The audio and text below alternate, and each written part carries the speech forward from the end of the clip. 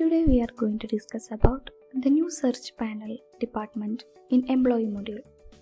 This is the new feature in Odoo 13. So take the employee module. On the left side you can see the search panel.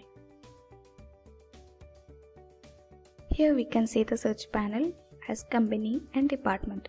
So it is as easy that we get the details of employee by department wise and we can select the company also here. So this is a new change that is available in Odoo 13 employee module. That's all about the video. Thanks for watching.